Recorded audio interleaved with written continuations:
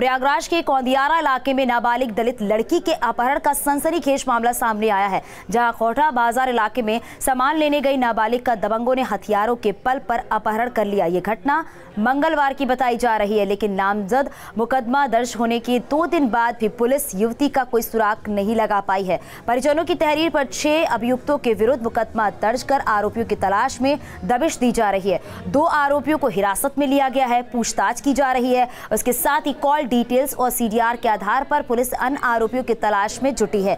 परिजनों का आरोप है कि लड़की के अपहरण के बाद जब वो शिकायत लेकर आरोपियों के घर गए तो वहाँ पर उनके साथ मारपीट की गई। पुलिस ने परिजनों की तहरीर पर गाँव के ही महफूज, सोहराब, इब्राहिम, हसनैन और साथ ही छह दबंगों पर संगीन धाराओं में मुकदमा दर्ज किया है।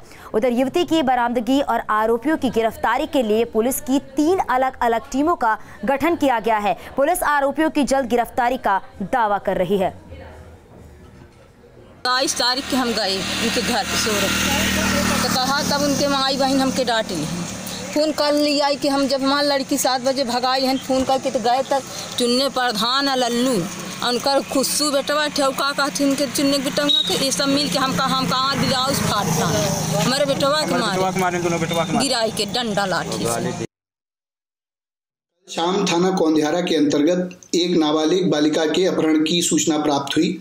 सूचना प्राप्त होते ही पुलिस द्वारा धारा तीन पॉक्सो एक्ट व अन्य धाराओं के अंतर्गत अभियोग पंजीकृत किया गया। अभियोग में नामजद दो व्यक्तियों को पुलिस द्वारा पूछताछ हेतु थाने पर बुलाया गया है। दो अन्य व्यक्ति, जिनका नाम सर्विलांस व अन्य माध्यमों से प्रकाश में आया है, उनको भी पूछताछ हेतु अभी थाने पर बुलाया गया है। ज़्यादा जानकारी के साथ संवाददाता मानवेंद्र प्रताप सिंह हमारे साथ फ़ोन लाइन पर जुड़ गए। मानवेंद्र क्या कुछ वजह बताई जा रही है? क्योंकि दो दिन बीत चुके हैं और अभी तक नाबालिग युवती के बारे में कुछ भी पता नहीं चल पाया है।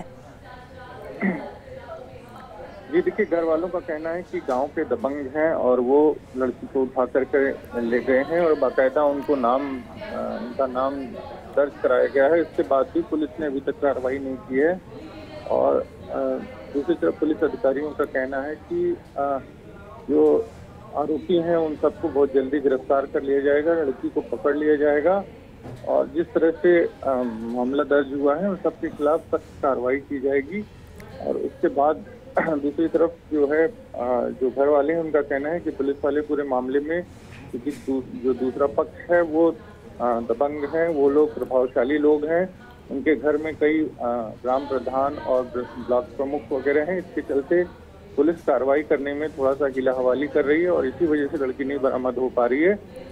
और इसी के चलते अभी तक दो दिन बीत जाने के बाद भी इसको बरामद नहीं कर पाए हैं। अब देखना ये है कि पुलिस उस पूरे मामले को, में लड़की को कब तक बरामद करती है और जब लड़की बरामद होगी, जब सभी आरोपियों की गिरफ्तारी होगी, तभी पूरा मामला खुल करके सामने आएगा कि पूरी वजह क्या थी, लड़की का अपहरण क्यों किया गया था। मामला क्या था?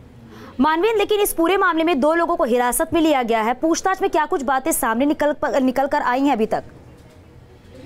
ये देखिए पूछताछ में ये बताया गया है। दूसरा पक्ष जो है वो ये कह रहा है कि लड़की अपनी मर्ज़ी से गई है। किसी लड़के से उसका कुछ प्रेम संबंध है उसके चलते लड़की गई है।